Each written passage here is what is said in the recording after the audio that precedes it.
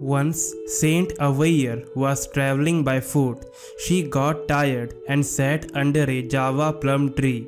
By now she had written plenty of poems and had developed a huge ego.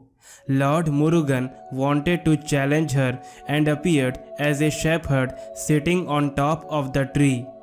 He then said, Grandma, you look so tired. Do you want some fruits? When she answered yes, he asked, Tell me, Grandma, do you want Sutta Pazam or Sudata Pazam? Sutta has two meanings one cooked and the other hot.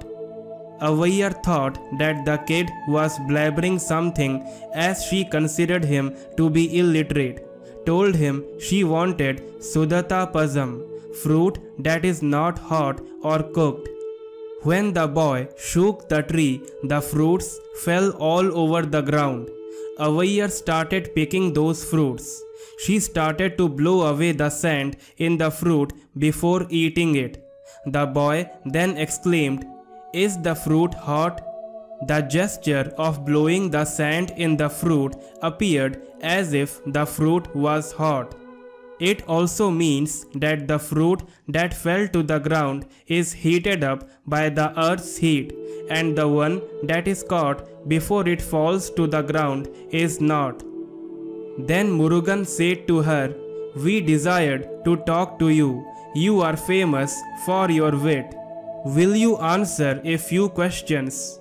Avvaiyar said, With pleasure. Murugan asked, What is hard? Avvaiyar said, Poverty in young age is harder. Harder still is a disease. Murugan asked, What is sweet? Avvaiyar said, Solitude. Sweeter is the worship of this Lord. Sweeter still is the company of godly men. Murugan asked, What is great? Avvaiyar said, The world is big. Brahma, the creator, is bigger.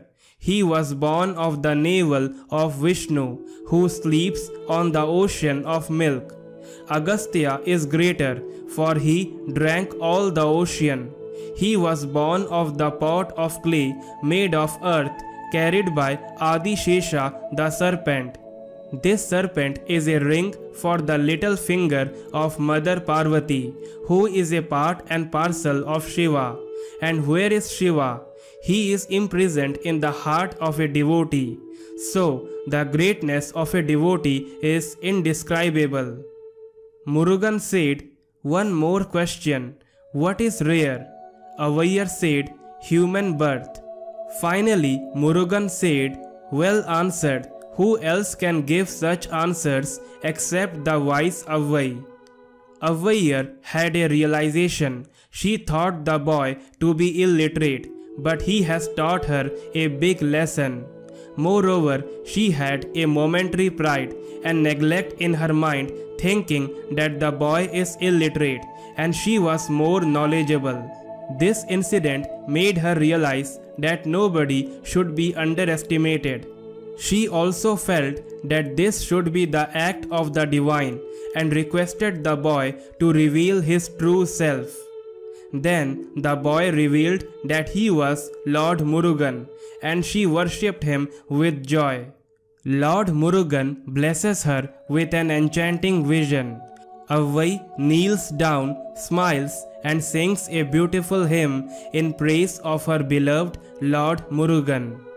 Moral of the story Nobody should be underestimated. That's all. I hope you love this story. Thank you very much Jai Shri Ram Jai Shri Krishna